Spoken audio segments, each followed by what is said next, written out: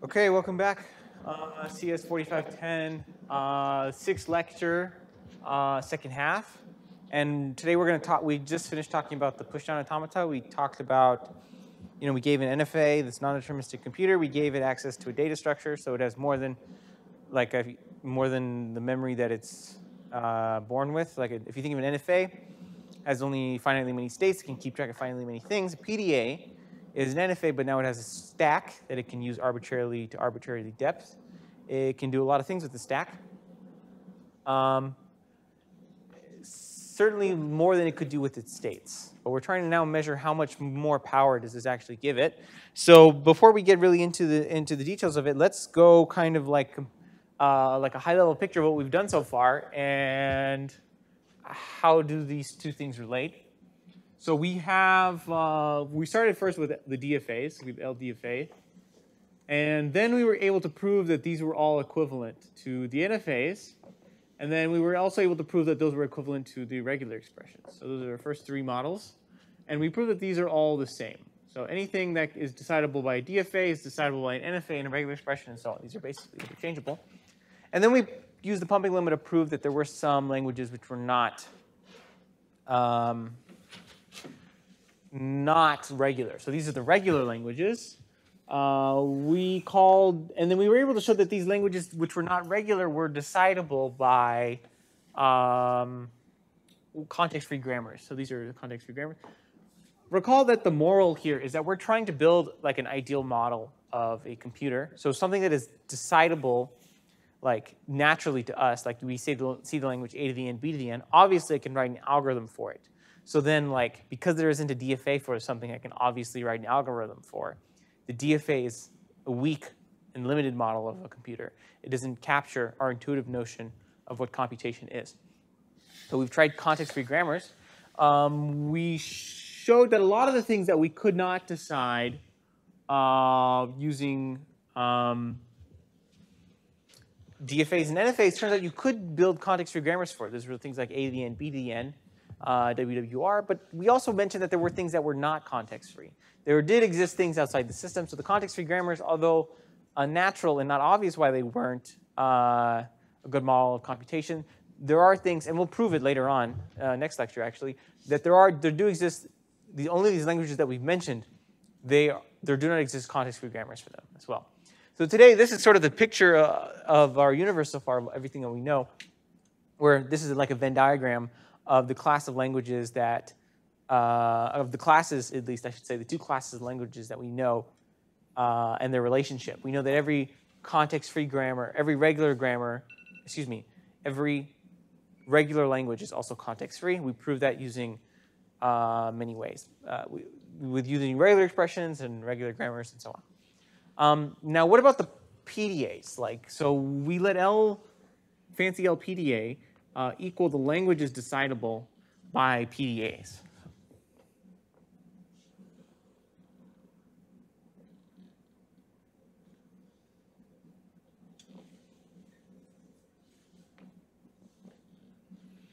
So we gave some PDAs, just like you can talk about simulations and things, but first you can just talk about like power. We gave some, D, D, some PDAs for A to the N, B to the N, and WWR, right? So there appears to be some overlap, at least with the context-free grammars. If you had to guess, what would you say the relationship is between uh, the PDAs and the regular languages? PDA is a superset. Why? Um, okay, so anything, a PDA is just an NFA with a stack. So anything an NFA can do, a PDA could do. So it can decide all regular languages, and then it can decide on non-regular languages as we, as we have seen. So it can do anything an NFA can do and more. Okay, yeah. The idea, the, the, the, the, the way I would have worded that is like, it is true that the NFA is a PDA with a stack. So PDA is an NFA with a stack. So anything an NFA can do, a PDA can do, and the PDA for the corresponding NFA just ignores its, it ignores its stack. Right? So like if you had in an NFA, um, if you had transitions of the form, let's do it slightly formally, transitions of the form like A, you go from Qi to Qj with an A, when you see an A, what you do for your PDA simulation is uh, you go from QI, so you copy the states, you copy the final states, you copy the accept states, and so on. QJ. Um, you read an A off the input, ignore the stack, pop nothing from the stack, push nothing from the stack. So it's really just making a mess of the syntax. You just add a bunch of epsilon epsilons everywhere. Somehow your NFA is now a PDA. Congrats, the behavior is identical, right? Whatever sequence of states the word visited is on the computation NFA, it analogously visits the same set of states on the computation this way. Um, the thing with this is that the PDs we've given are also kind of straight line programs. They're mostly straight looking, like you push the canary, you pop the canary, and so on. Uh, the NFAs we've given are kind of messy and a lot of crossing going on and a lot of loops and so on. So it might not have been obvious like the full power of what the NFAs can do because we've only looked at a subset of the things that's possible with them. Um, if I were to write this like functionally, so like the NFA transition function, we go, we're at some QI, we see symbol A, and we go to Q, QJ or the set containing QJ, right? We'll just say QJ, but it would be whatever the sets containing QJ are. Here we would, uh, for the PDA, we would be at QI, uh, read nothing off the stack, and then we have to go to the pair of what we see and what we read, uh, what state we would be at and what we would write, excuse me, to the stack. So this would be the pair Q, Q, uh, J, epsilon, right? So identically, the, the uh, oh, this kind of an avocado. Just notice that. But the, the, the regular languages certainly are all uh, decidable by push-down automata, by converting any NFA to a pushdown automata. However, there are things that do use the stack. So certainly not every, um, certainly the PDAs are not equal though to the regular languages, right? Because we've shown languages that we've proven are not regular using the pumping lemma that happen to also be decidable by PDA. So they're not going to, we're not going to add a fourth thing here that makes them equivalent, and we're not going to be able to conclude the stack gives no power. Clearly, the stack gives measurable power by this, by this proof. We've proven every NFA has a PDA, and we've proven that there are languages decidable by PDAs which are not decidable by NFAs. So already, that, the relationship between uh, the regular languages and the PDAs is then solved. So let's ask the next question. What is the relationship between the PDAs and our next class, the context-free grammars? So we've given, we've given actually specific PDAs for languages which also we gave grammars for. So the intersection is non-empty right? It's not like PDAs are this other thing. If you had to guess the relationship between the CFGs and the PDAs, what would you say? This is not intuitive at all, but I, want, I just want to hear postulating. Like, what do you think the relationship is between the PDAs and the CFGs? They're equal. They're equal. Why? Unless you looked at the title of the notes. Okay, so because the title is the, the title of the notes is proving they're equal. So if you had to, if you had, if you have some intuition about why they're equal, what would you say that? I'm genuinely curious. It's kind of an open-ended. I felt like with NFAs and regular expressions, they were kind of similar. It was just kind of different formats of the same thing, and I'm guessing that this is kind of the same thing, where instead it's instead of NFAs and regular expressions, it's CFAs and PDAs. Okay, I, I think that's a that's a good answer. Personally, I would have not thought this, like just from understanding it. Like if you think of what is the grammar for like A to the N, B to the N. When you think of a grammar like this, when it, what it does is it like, uh, it pushes A's to the left and it pushes B's to the right when you produce several copies of the string. That's kind of like a stack. But this is like two stacks. We won't, we'll prove it later, but two stacks is actually more powerful than one stack. But two stacks seems very different than one stack. But this isn't two stacks. This is like a stack that you can, eh, a context-free grammar cannot delete anything. Every time it's produced a terminal, it can't go back and erase a terminal from its working string. It has to like keep, that always has to be there. It can just produce more terminals. It can't undo anything it's done. So this is like a stack that you can't undo, sort of, so to speak. So it's very, it's not two stacks. It's really exactly the power of one stack. Um, it turns out that this proof is insanely complicated, actually. So what, by this proof, what I mean is, um, we're going to prove that uh, the today at least we'll prove that every uh, CFG has a PDA. That's the topic of, of this uh, lecture. So we're going to give a, given a CFG as a description as a set of rules. We're going to produce a grammar. Excuse me, produce a, a PDA to perform the same behavior as the grammar. The problem is actually the reverse proof. So a PDA is a program. Everyone has done programming. Everyone understands how to write code. Writing PDAs is natural and intuitive. Grammars are not really natural and intuitive. They're kind of just seems like made up rules. They appear from nothing. Somehow the string just magically it, you put some push some buttons and then it, it's there. You know, it, the it's from the outside in instead of left to right, right? Um, right. So like converting a grammar to a PDA is not hard because what you're really going to do is have a hard-coded PDA to simulate the productions of the grammar. That's kind of not hard to do because you can just write a program for it. Imagine I asked you to write a program to produce strings of the grammar using a stack. Might be difficult, but it's not impossible, perhaps. But if I asked you to give a grammar to simulate a PDA, so the reverse inclusion, uh, which we won't do today, we'll do next time. But if I ask you, given a PDA, let's just think about this for a second because it's, it's not obvious. Given a PDA, produce a grammar that simulates the PDA. How do you do that? That proof is very involved, and that's going to take a full lecture. This proof that the PDA, we're going to, that, we're going to, given a CFG, we're going to build a PDA. That's our topic for today. Next time, we'll, given a PDA, we're going to build a CFG. That is much harder because grammar is not a program. So some of you have a program, a PDA. You're going to try to give a grammar that produces the strings the PDA does. That is not easy to do, and that proof is far more involved. Um, but today, at least, we get to do the easy part. We're just going to, given a grammar, we're going to construct a program um, to simulate the, the, the, the PDA.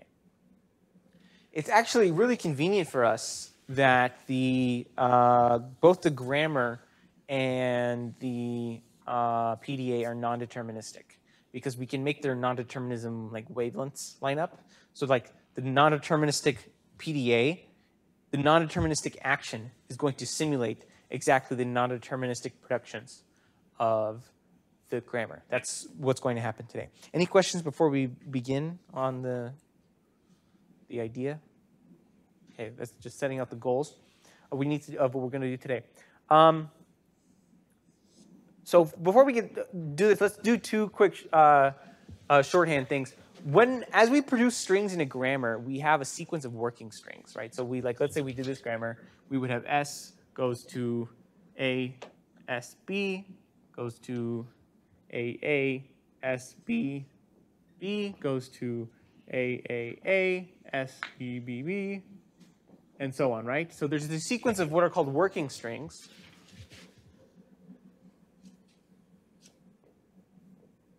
when you produce the grammar. So we want to kind of we want to simulate somehow the action of going from one working string to the next. And which working string you go to to the next working string is dependent dependent upon like what non-deterministic choices you make. Like if there's more than one non-terminal left, you have you non-deterministically choose which one you do. Sometimes it doesn't matter. Sometimes your non-determinism is forced to be deterministic. So here there's only one terminal.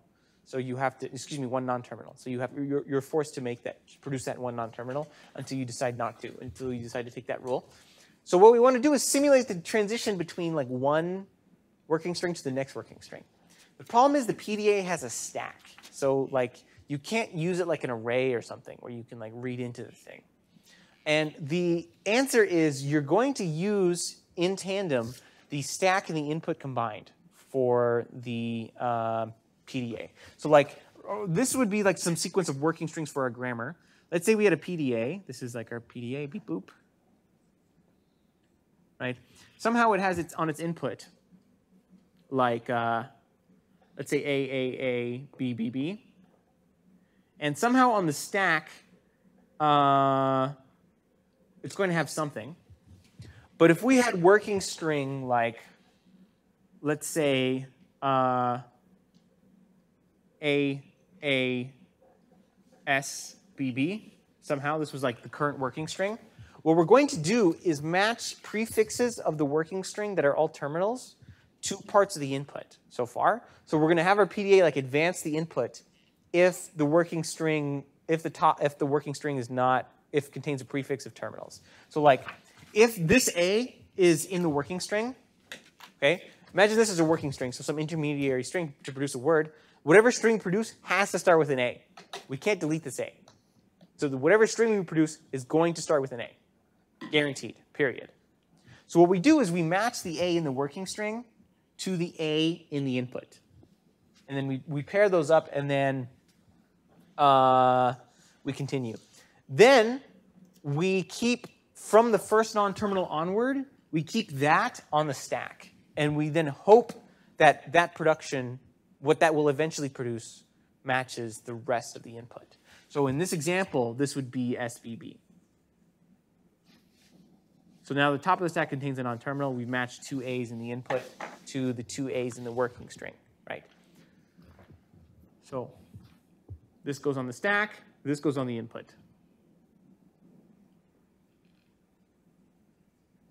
That's the idea of our, we've broken up the working string into two pieces. One is going to stay on the stack, and one is going to stay on the input. And that's the way we, we, have matched it. Now, um, how is the non-deterministic production going to work here? Like, how do we continue?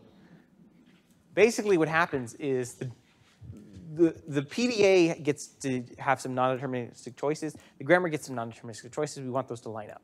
So basically, the way they're going to line up is it's going to pop the non-terminal on the stack and push its production.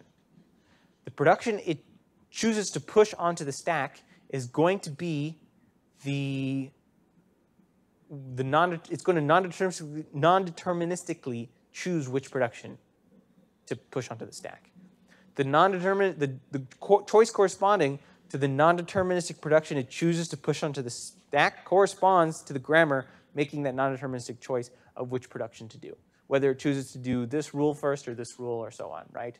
The grammar has a sequence of non-deterministic choices. The PDA is going to be able to make those exact same non-deterministic choices. The choices it makes will correspond exactly to um, the choices the grammar uh, was allowed to make. Before we go on to the formal argument, I want to introduce some shorthand, uh, just to make things kind of simpler. Because we, the Sipser book kind of keeps this long because it doesn't want to do the shorthand, but I rather introduce a shorthand just to make things easier. So the transition function as defined for a, a, a PDA is what? You go from a single state, you go from anything on the input or not. You choose to read the input or not. Um, you choose to read the stack or not.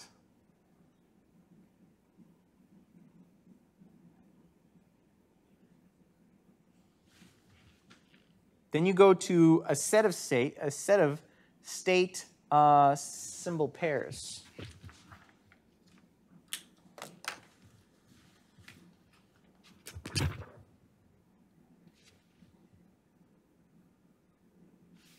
where you go to a new state and then you can optionally choose to write a symbol onto the stack.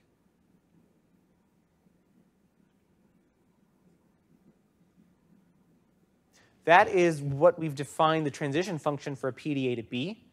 I claim we can actually uh, modify the transition function to be slightly more general in a way that doesn't give the PDA more power.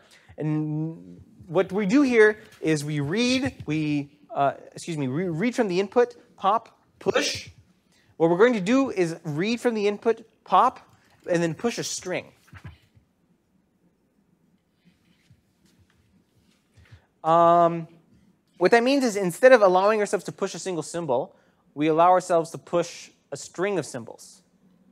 That's all we're going to do. We could equivalently allow ourselves to pop a string of symbols, but what happens if you only read half the string or something? Maybe you're stuck somewhere. Turns out that slightly there's a slight complication with that. We don't need it. This one is more, far more useful than reading a string of symbols off the, input, off the stack. You can just write a string of symbols to the stack, push it to the stack. Um, the way we're going to do this is actually surprisingly surprisingly easy, like deviously easy. We're going to say like given, suppose we had a transition like uh, read A, uh, pop B, push uh, W1, W2 to WN. Suppose this was a transition, right? So before W1 to WN would just be a symbol of length 1. Now I'm supposing it's an arbitrarily long string. We can convert this subpart of a D, this transition of a PDA to a PDA that only pushes strings of length 1, single symbols. How would we do that? What do you think? Yeah. You just um do epsilon, epsilon. I forgot what the order was. I think it was read, pop, push. Read from input, pop from stack, push to stack. Yeah. Yeah, so you do epsilon, epsilon, and then whatever you want to push, and then you just keep doing that. Yeah, kind of. Like, to use more words, what we're going to do is just add a bunch of dummy states.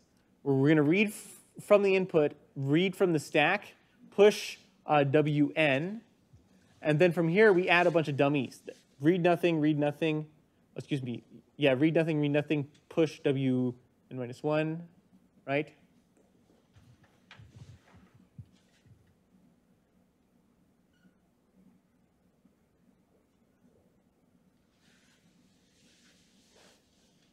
Read nothing, read nothing, W1, right? So it's important here that the symbols go in the opposite order as well, because we want the last thing on the top of the stack to be, uh, the, the, thing, the thing on the top of the stack is the last thing you pushed. So the top of the stack uh,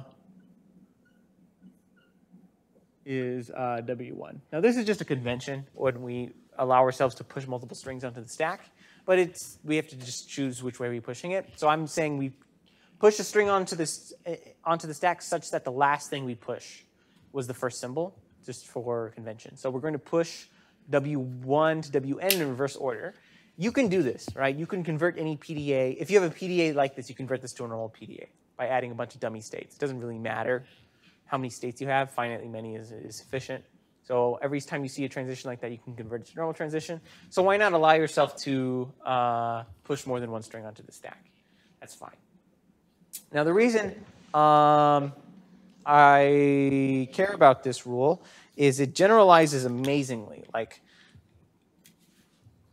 when we're trying to we're trying to prove that every CFG uh, has a PDA. That's the goal for today. So we would write this every uh, CFG has a PDA. Uh, turns out when you allow this rule, you get an even stronger, simpler version of it. Every CFG has a PDA with three, with three states.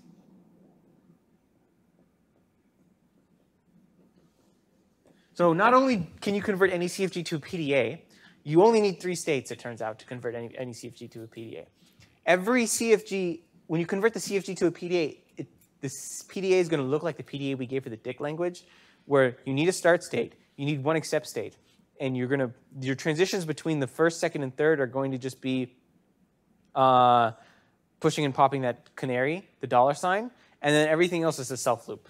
That, it turns out that's how easy uh, that's how easy this is when you allow this uh, generalization.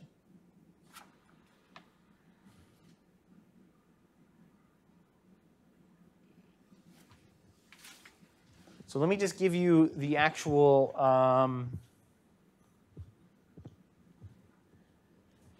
the conversion process, and then we'll do an example.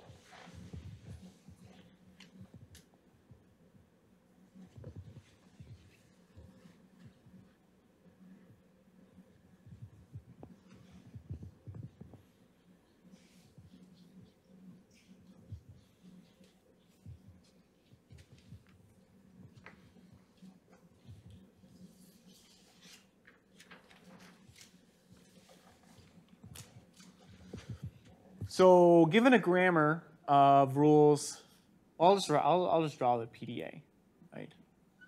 So what you're going to do is you're going to read nothing off the input, pop nothing, and then push the canary. Have a self, have a state. Read nothing off the input, uh, pop the canary, and push nothing. Accept.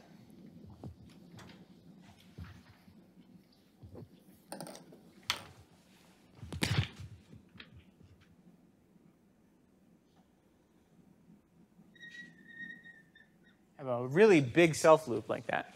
And what you're going to do basically, like anytime you see an A on the input and an A on the top of the stack that matches, you just pop the A. Uh, and this is for all A in uh, sigma. So basically, if there's a symbol on the top of the stack that matches the symbol in the input, you pop them. And uh, basically, if uh, when you not if if there's a non-terminal A at the top of the stack, you're going to push its production uh, for productions.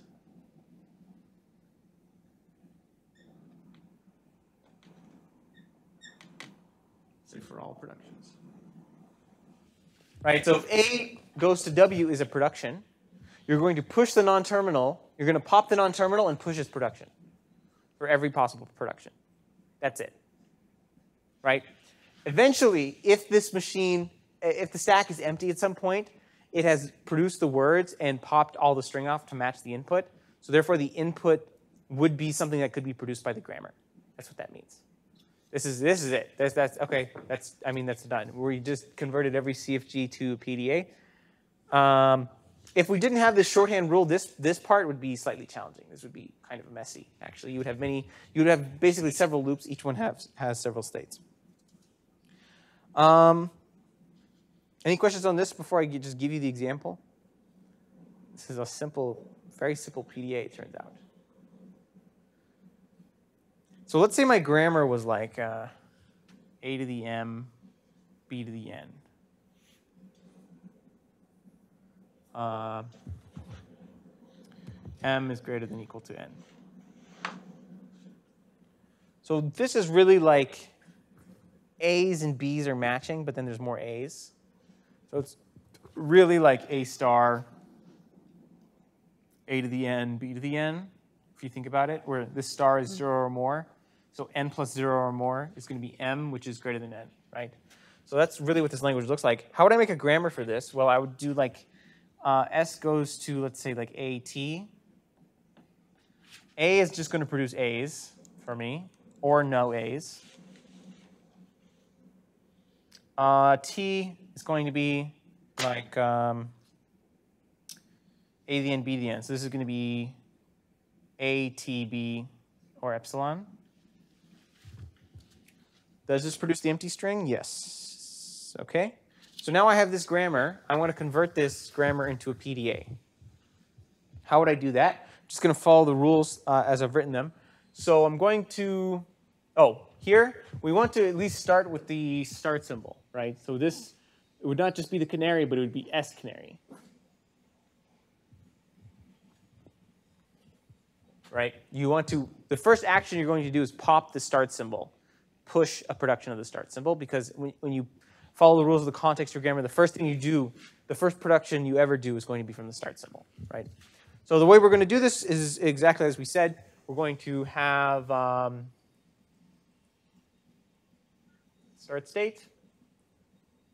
We see pop nothing off the input.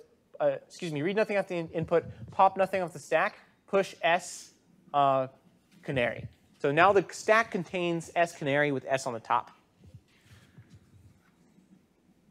The last thing we want to do is pop the canary. So read nothing off the input, pop the canary, push nothing. Now, if we see an A in the input, uh, we want to pop it off the stack. If we see an A input A in the stack, we want to pop it. If we see a B in the input and a B on the stack, we want to pop it. If we see, if we don't if we see an S on the top of the stack, we want to not touch the input and push its productions. So what does that look like? S goes to uh, AT, right? Yeah, okay. Uh, if we see an A on the top of the stack,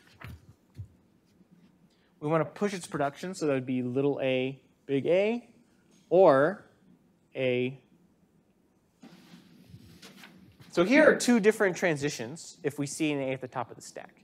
Which one we would choose corresponds non-deterministically to which production uh, here we would choose. Do we choose to add A's? And then that in turn corresponds to the number of A's, the, the amount that M is greater than N. That's exactly what that corresponds to. How many times do you take this, would you take this transition before you take this one, for example? Um, and then we have one more, we need T. So we have T goes to ATB, or T goes to epsilon. Now, just to make things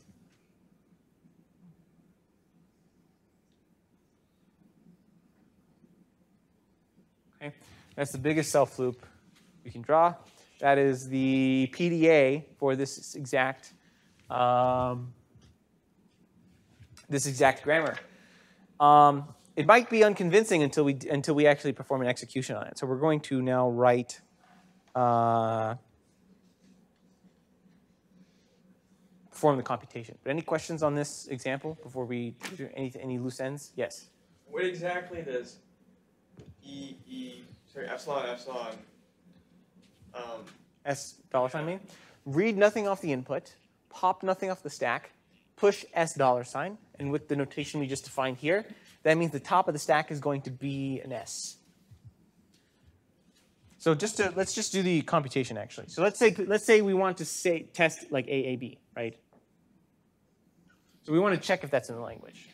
This PDA, this this string is in the is produced by this grammar. It should also be accepted by this PDA. And it turns out the exact computation, the exact productions that the grammar produces the string with, it's going to follow those productions when the PDA, which is simulating the grammar basically, is going to accept that string.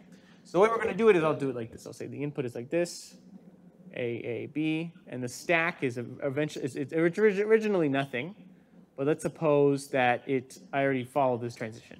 So the stack is going to contain the S and a dollar sign. The top of the stack is S, okay? We've now moved to this state. And we have not read any of the input yet. Uh, what can I do? What transitions I can do? Um, really, this one. That's the only one, right? The only one that has S as the top of the, I can't take any of these, or you can suppose I take them and non-deterministically reject them. But if, if, if the top of the stack doesn't contain an S, I can't take those transitions. I only take those with the S. So I see the S at the top of the stack, I pop it, and I push AT. But I don't read anything off the input. So I take this one once. Right. What that means is my computation is now going to look like this.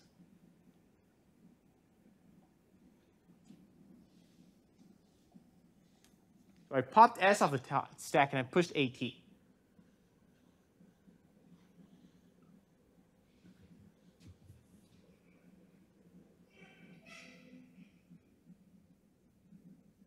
Make sense? Now, what are the next transitions I can do? Well, top of the stack, the only one I can do is these two, one of these two. So non-deterministically, I know, like if I did this one, that would be a rejecting computation path. I'm only concerned if there exists an accepting one. So I'm just going to like use my premonition and know that I have to take this one. So I'm going to take this transition next. And that's going to give me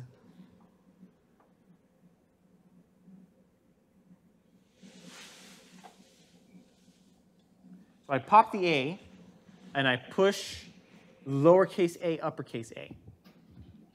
So it's going to be lowercase a, uppercase a, t, uh, dollar sign, right?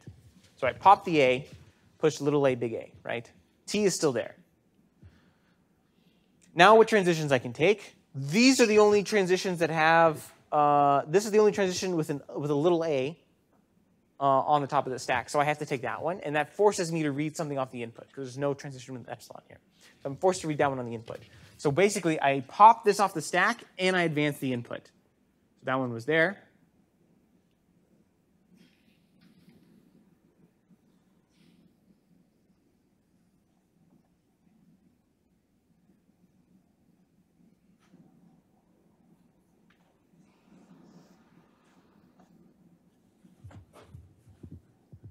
I could erase it, but it doesn't matter, right? This is now the uh, configuration of the machine. Configuration, I just mean like a snapshot of its computation, like what it looks like during the process. Um, so I took this one third. Uh, I'm going to now see an A on the top of the stack, and I know that I'm done with the extra A's. Like, I know that. The machine may not know that and may have some implicit rejections to go through, but we're trying to find the one computation path that it accepts. So I know now that I need to take this a goes to epsilon rule. So what that really just means is I read nothing off the input, uh, read a on the top of the stack, pop it, pop it off the top of the stack, and push nothing. So I just pop it.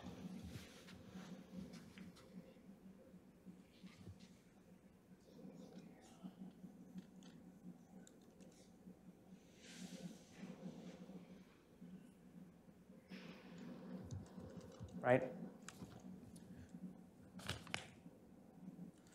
So now T is the top of the stack.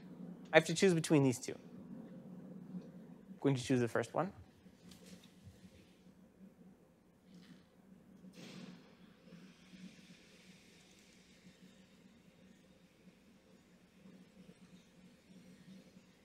So pop T, push the production, which is ATB, and the dollar sign is still there. So it's going to be lowercase a,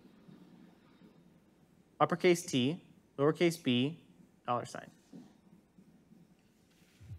Right? Well, look at that. The top of the stack contains an A. The next input contains an A, both lowercase. I have to apply this rule.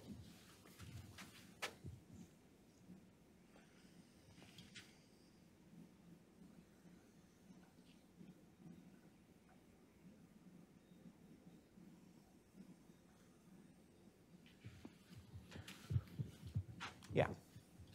So I pop this A, and I'm left with what? TB.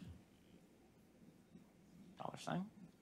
You may be able to do this faster in your head. Obviously, I'm going real methodical, making sure nothing's missing. Uh, well, now the now the rule is like this T is here. I'm going to choose to take this this transition. So that was six. This is going to be seven.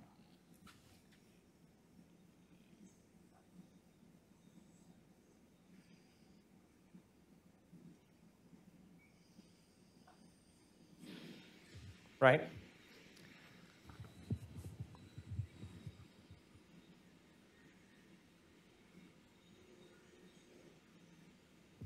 Now I see a B in the input and I see a B at the top of the stack. I'm going to take, this one is 8.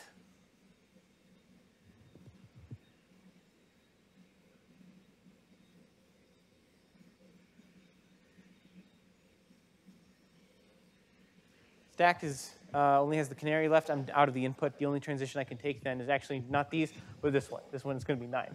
Actually, I think I'm off by one because I didn't count the first transition, but you guys get it, right?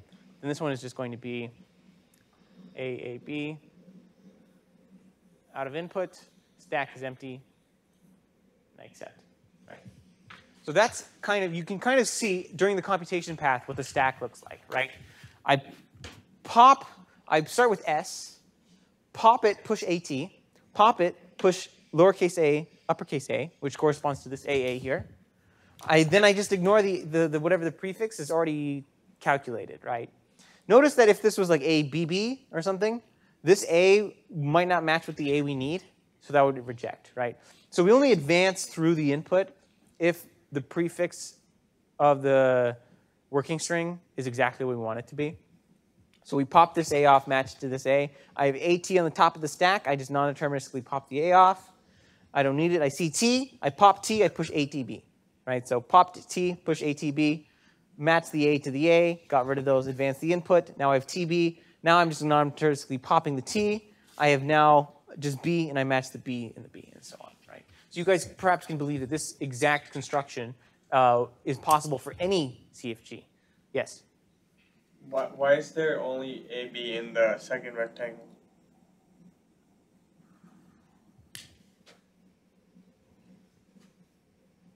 How do you decide when to advance? The advancement can only happen, look at the rules. So all these have epsilon in the read input. There's only two rules that, have, that don't have epsilon. So to advance through the input, you need to have one of these transitions, and that can only happen when the top of the stack is also an A.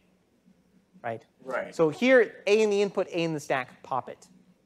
Right? So you only pop it when they match. The it's important that they're conditional here. Like it, you only pop the A if there was an A in the input. Like those are tied together. It's, that's the conditional there. So here, A is top of the stack, A is in the input. You pop the A and advance it. So you pop, not only do you pop the A, but you advance the input.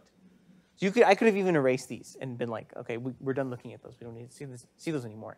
Just does this, what's on the stack currently, non-deterministically produce the rest of the string that we haven't matched? You know, because once you've fit, fixed some things in the, in the working strings of a context-free grammar, those are done. You can't unproduce those. So just don't even look at them. Ignore them. Just worry if the rest of the thing can be produced by uh, what, what's on the stack currently, right? So if you read an epsilon, you don't advance. If you read an epsilon, so the input should never have an epsilon.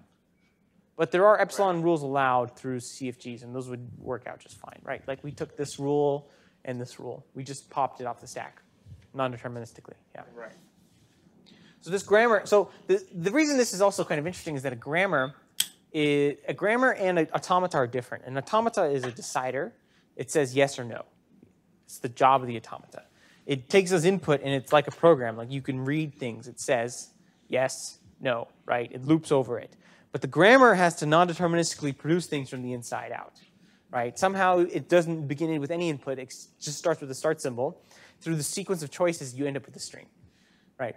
So somehow the, the, the PDA has to simulate the grammar, but looking at its own, but it has to take on the input and match it to that at the same time, right? So that's what makes this uh, kind of interesting, I think. You know, these are very two different, very types of computers, very different.